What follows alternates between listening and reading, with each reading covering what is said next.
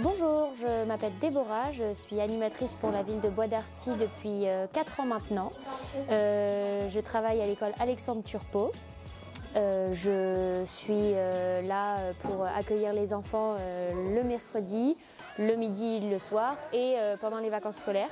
Cette année, c'est un peu particulier parce que j'ai entamé une formation euh, BPGEPS. Donc, je suis là euh, que le mardi et le mercredi. Et le reste du temps, je suis euh, en formation. Donc, une journée de mercredi, ça commence à 7h. De 7h à 9h, on accueille les familles et les enfants, évidemment. On leur ouvre le portail, on, accueille les parents, on écoute les transmissions qu'ils peuvent avoir à nous faire sur leurs enfants. Ensuite, euh, les enfants sont euh, en activité libre, ils peuvent lire, dessiner, faire des jeux. Euh, on les accompagne dans le réveil tranquillement. Puis à partir de 10h, on leur propose des activités de la matinée.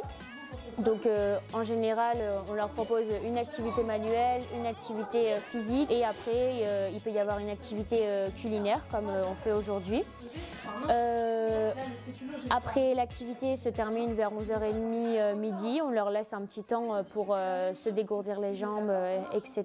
Puis, on part à la cantine où on les accompagne dans le repas pour s'ils ont besoin d'aide, s'ils ont des questions sur ce qu'ils mangent, pour veiller à ce que le tri soit fait correctement.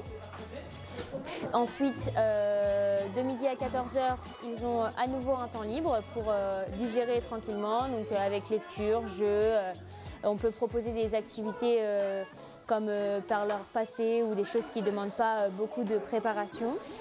Et à 14h, on les réunit à nouveau pour leur proposer des activités qu'ils vont pouvoir choisir. ils ont toujours le choix de l'activité qu'ils décident de faire.